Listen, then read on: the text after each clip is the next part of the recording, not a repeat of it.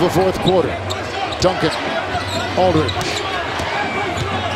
Carving his way into Dante Cunningham. The scoop and the oh. fall! A beauty by Aldridge inside. Jrue Holiday looking for two. He'll go to the line. Duncan picks up his first. And was going to pump fake here, but recognize there was no rotation over from the shot blocker and